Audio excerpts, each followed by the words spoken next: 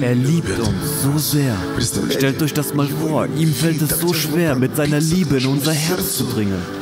Denn der Teufel hat von Kind an begonnen, einen Staudamm in unserem Verstand, in unserem Herzen zu erschaffen.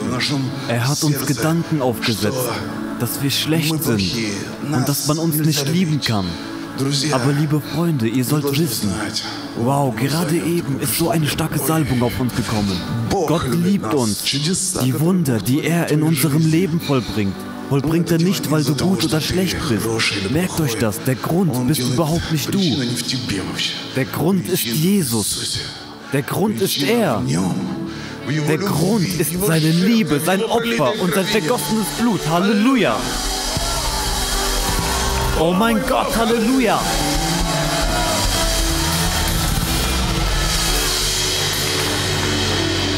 Gott möchte, dass wir all das, was der Teufel angestellt hat, all das, was er in unser Unterbewusstsein gelegt hat, all das, was er in uns gelegt hat als Fundament unserer Niederlagen, damit wir wie ein Magnet Probleme in unserem Leben anziehen, damit wir Krankheiten anziehen und das, wovor wir uns fürchten. Das alles will Gott bei diesem Samen mit seinen Wurzeln aus unserem Unterbewusstsein rausreißen. Amen. Wir müssen anstelle dessen die Wahrheit in uns tragen. Die Wahrheit ist, dass Gott dich liebt. Halleluja. Gott ist für dich. Gott ist für dich. Gott liebt dich. Gott liebt dich. Er liebt dich unglaublich sehr. Du bist wertvoll für ihn. Du bist kostbar für ihn. In der Bibel steht, dass der Prophet Jesaja sagte, selbst wenn eine Mutter ihren Säugling im Stich lässt, Gott sagt, würde eine Mutter ihr Säugling im Stich lassen. Ihr wisst, wie sehr eine Mutter um ihr Kind eifert. Sie würde ihr Leben für ihr Kind hergeben. Meine Mutter erzählte mir einst eine Geschichte von mir als ich noch klein war. Sie und ich sind spazieren gegangen und dort gab es einen tollen Hügel mit Steinen und ohne Weg. Das war ein recht steiler Hügel. Wir sind entlang gegangen und sie ist auf einem Stein abgerutscht. Und um mich festzuhalten, ist sie selbst auf die Knie gefallen. Ihre ganzen Knie waren verwundet, nur um mich zu beschützen. Wisst ihr, eine Mutter ist immer für ihr Kind. Würde eine Mutter ihr Säugling im Stich lassen?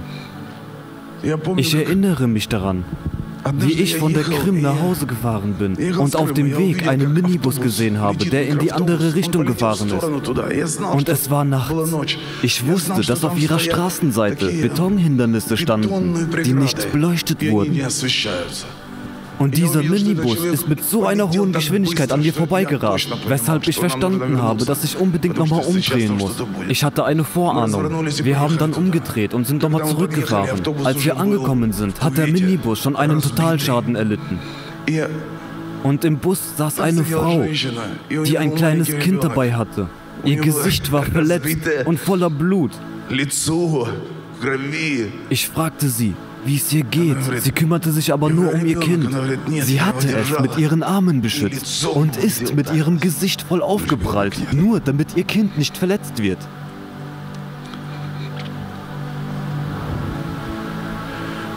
Stell dir das mal vor, Gottes Liebe für dich sieht genau so aus. Und er sagt, würde eine Mutter ihr Säugling im Stich lassen. Nein, doch selbst wenn sie es im Stich lassen würde, dann sagt Gott, ich werde dich niemals im Stich lassen. Gott sagt, ich werde dich niemals im Stich lassen. Gott sagt, ich werde dich nicht im Stich lassen. Du kannst mir alle möglichen Gründe nennen, warum du heute hier bist. Aber du bist heute hier, weil Gott wollte, dass du etwas Bestimmtes hörst, damit du heute etwas erlebst. Ich weiß, dass es Menschen gibt, die heute geheilt werden. Es gibt Menschen, die heute ein neues Leben bekommen werden. Lieber Freund, du bist heute hier, weil Gott das noch vor der Erschaffung der Welt geplant hat. Er kämpft um dein Leben. Seine Wahrheit befreit dich. Wenn du krank bist, sag Gott, dass du gesund wirst. Wenn du im Privatleben zu kämpfen hast, alles in die Brüche gegangen ist und du denkst, dass man nichts mehr wieder gut machen kann, wird Gott alles zum Guten wenden. Du wirst den Segen und das Glück im Privatleben sehen.